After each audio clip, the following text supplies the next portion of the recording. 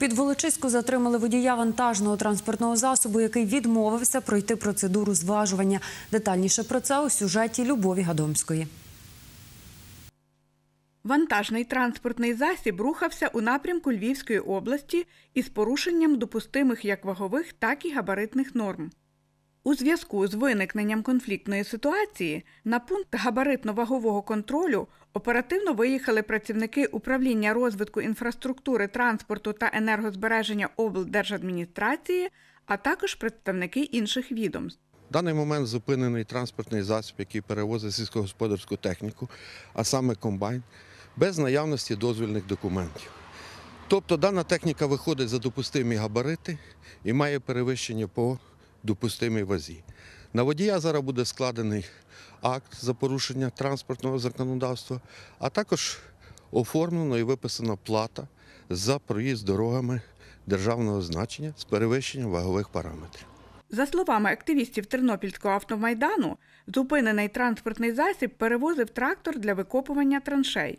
Водій відмовився заїжджати на ваговий комплекс, бо, мабуть, добре знав, що перевозить вантаж з недопустимою відповідно до встановлених норм вагою. В законі прописано чітко, що на ваговому комплексі водій повинен заїхати на ваговий комплекс і зважитись. Але є одне, але е, немає прописано відповідальність за те, що він не заїде туди. І зараз на даний момент його повезли в суд. Йому за непокору, там за невиконання того, що поліцейський його зупинив і просив заїхати на ваговий комплекс, дали йому 250 гривень штрафу.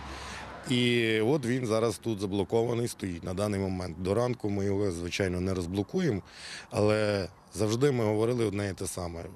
Пойміть, приблизно, якщо плюс-мінус зараз додати, 8 тисяч євро, євро повинен було заплатити цей водій е, штрафу за цей перегруз.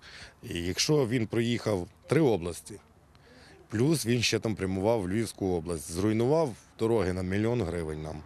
Е, Бачите, за мною стоїть ще один такий самий, теж перегруз по осях, е, там 10 тонн різниці. Е, Стоять машини, які мають по 5 тонн.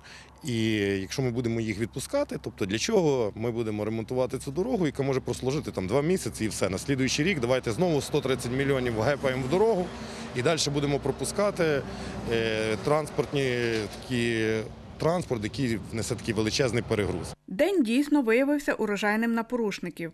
Ще один автомобіль перевозив вогненебезпечний вантаж соляру.